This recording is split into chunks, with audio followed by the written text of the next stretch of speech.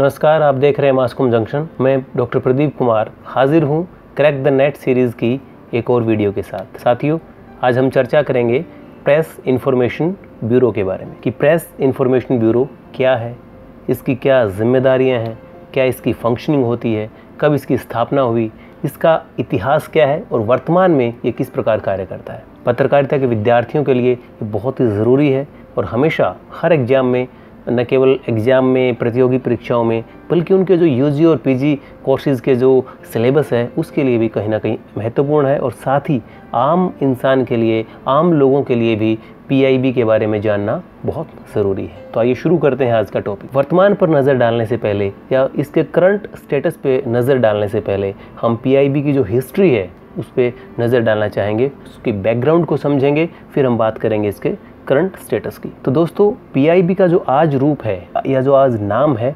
उसका रूप या नाम पहले अलग होता था, बहुत साल पहले वो अलग तरीके से कार्य करता था। तो अगर हम बात करें पीआईबी की तो 1919 में, जून 1919 में इसको एक स्मॉल सेल के रूप में इसका गठन किया गया। जब ब्रिटिश गवर्नमेंट के अंडर हिंदुस्तान होता था, तब होम मिनिस्ट्री के अंडर पीआईबी का गठन हुआ और इसको एक, एक बहुत स्मॉल सेल थी बहुत छोटा सा ये एक तरह से कह सकते हैं इसको प्रकोष्ठ था जिसको पब्लिसिटी सेल कहा जाता था। और इसके जो पहले हेड थे वो थे doctor L F Rushbrook Williams और उनके जो हेड थे जो सेल के पब्लिसिटी पब्लिसिटी सेल के जो हेड थे उनको बोला जाता था ऑफिसर ऑन स्पेशल ड्यूटी तो 1919 में पीआईबी की शुरुआत हुई, लेकिन इसका तब रूप अलग था, तब इसके पर्पजेज थोड़े से अलग थे और समय के साथ साथ ये थोड़ा बदलता उसके बाद पीआईबी का जो मेन टास्क उस समय था, उसको हम जानने की कोशिश करते हैं। तो प्रेस इंफॉर्मेशन ब्यूरो जो पुराने रूप में था 1919 में जब इसका गठन हुआ, तब शुरुआत में इसका जो कार्य था that was to prepare a report on India to be placed before the British parliament यानी ब्रिटिश संसद के सामने भारत देश के ऊपर एक रिपोर्ट तैयार करके इसको देनी थी सेल को और इसलिए इसका गठन किया गया, शुरुआती स्टेज पे इसका कार्य ये दिया गया। और 1920 आते आते, यानी इसके गठन के डेढ़ साल बाद लगभग 1920 आते आते इस सेल का जो नाम है वो बदल दिया गया और इसको बोला जाने लगा सेंट्रल ब्यूरो ऑफ़ इंफॉर्मेशन। और जो डॉक्टर एल एफ़ रशब्रुक हैं, उनको डायरेक्टर ऑफ़ दिस ब्यूरो बनाया गया। यानी पहले वो ऑफिसर ऑन स्पेशल ड्यूटी थे, जब इसको पब्लिसिटी सेल बोला गया। देन 1920s के एंड में ये बन गया सेंट्रल ब्यूरो ऑफ़ इंफॉर्मेशन और डॉक्टर एल एफ़ रशब्रुक को बना दिया गया इसका डायरेक्टर इसके बाद अगर हम बात करें कि उस वक्त किस पर्पज से इसका गठन किया गया, क्या इसका मेन काम क्या था तो जो प्रोफेसर विलियम्स हैं, उन्होंने प्रेस लॉज कमेटी के सामने 1921 में बताया कि सेंट्रल ब्यूरो ऑफ़ इंफॉर्मेशन क्या है, ये क्या काम करता है। तो उन्होंने बताया कि link between the government and the press. Means ये जो ब्यूरो है ये एक सरकार और लोगों प्रेस के बीच में एक कड़ी का काम करेगा और प्रेस को सरकार को अगर प्रेस से कुछ इन्फॉर्मेशन देना है, उसको इनवाइट करना है, उसको बुलाएगा देन प्रेस में क्या पब्लिश हो रहा है, उसके बारे में सरकार को अवगत करवाएगा। यानी गवर्नमेंट और प्रेस के बीच में कड़ी का काम उन दोनों को जोड़ने वाला, उनके बीच में एक रिलेशन मेंटेन करने के लिए इस ब्यूरो का गठन किया गया। जो मेजर फ़ंक्शन था, वो ये था कि प्रेस को एग्जामिन ये ब्यूरो करता था कि प्रेस में किस तरह की खबरें छप रही हैं, किस तरह से लोग सरकार को क्रिटिसाइज़ कर रहे हैं, सरकार के जो एक्शंस हैं, उसको लेके कैसा रिएक्शंस को कैसा रिएक्शन लोगों में आ रहा है, प्रेस में किस तरह की खबरें छप रही हैं, प्रेस कैसे काम कर रहा है, उसके बारे में बताना और सरकार की जो एक तरह से पॉलिसीज़ थी उसको प्रेस में कोशिश करना कि पब्लिश हो और वो लोगों तक पहुँचें। साथ ही ये देखना कि इंग्लिश के जो अखबार हैं, इंग्लिश का जो मीडिया और साथ ही जो देशी भाषाओं के जो है, वर्नाकुलर जो प्रेस है, हिंदुस्तान के अलग अलग भाषाओं में जो समाचार पत्र या पत्रिकाएँ छप रही हैं, वो किस तरह का पब्लिकेशन कर रही हैं, उसमें क्या छप रहा है, वो सरकार तक रिपोर्ट करना। और इसके बाद इसमें एक और बदलाव किया गया कि जून फ़र्स्ट 1923 इसमें central bureau of information was put on a permanent footing as the bureau of public information.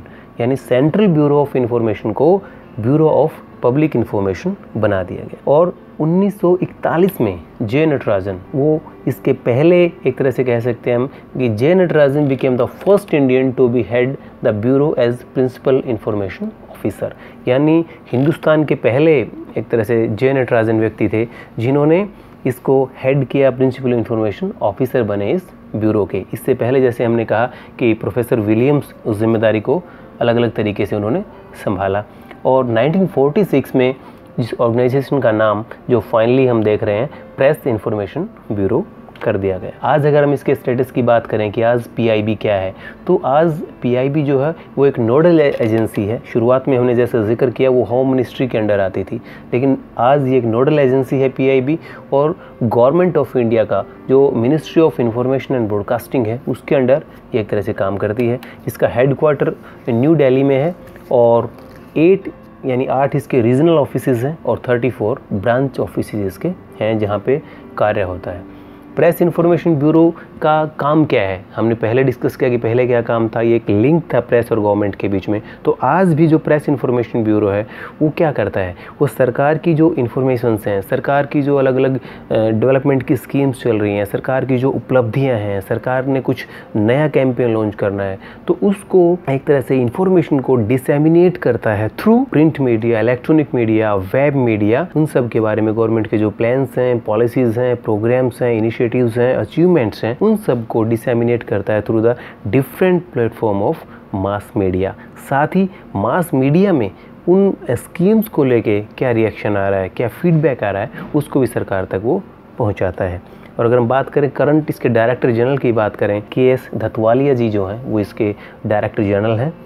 और इस तरह से पीआईबी कार्य करता है। तो इस प्रकार सरकार के विभिन्न विभिन्न विभागों के लिए एक तरह से पब्लिक कम्युनिकेशन का काम करता है। मीडिया रिलेशंस उनके लिए बनाता है।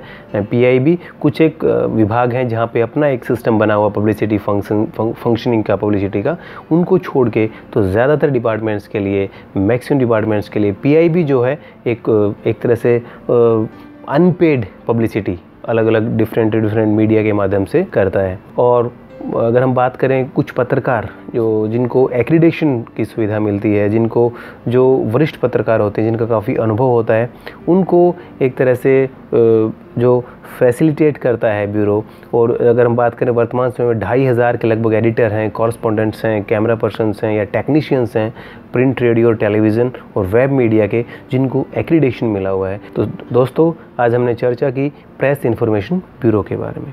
इसका जो मेजर वर्क है, वो है गवर्नमेंट की स्कीम्स को, उसकी योजनाओं को उसकी वेलफेयर स्कीम्स को प्रेस के माध्यम से डिसेमिनेट करना लोगों में और साथ में प्रेस में क्या पब्लिश हो रहा है, वहाँ का फीडबैक जो है वो सरकार तक पहुँचाना ताकि सरकार उस फीडबैक के हिसाब से योजनाओं में और कुछ रिवाइज कर पाए, उनको अमेंडमेंट उनमें कुछ कर पाए और अल्टीमेटली जो है वो राष्ट्र का विकास हो, समाज का विकास हो तो पीआईबी इस तरीके से काम करता है। तो दोस्तों आगे भी हम इसी तरह के विषयों पर चर्चा करते रहेंगे और क्रैक द नेट सीरीज़ में हम लगातार नई वीडियोस के साथ आपके बीच उपस्थित होते रहेंगे। आप जुड़े रहिए हमारे साथ और देखते रहिए मास्कोम जंक्शन। धन्यवाद।